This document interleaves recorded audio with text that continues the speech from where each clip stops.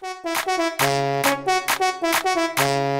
up your phone, call up your friend, call up your friend and ask them where you there. Eh? Hi, I'm Sergio Camejo.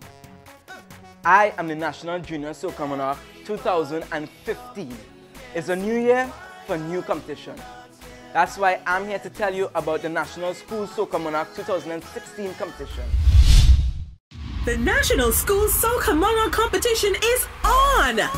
And registration is almost over. So, if you're between 6 and 19 years old, a citizen of Trinidad and Tobago, and want to perform in one of the biggest competitions for Carnival, then now is the time to register. Registration closes January 7th, 2016. So register now at 27 Carlos Street, Woodbrook, or via email schoolsocamonarch at gmail.com.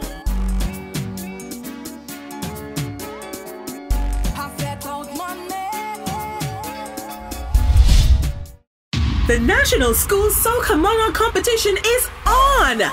And registration is almost over.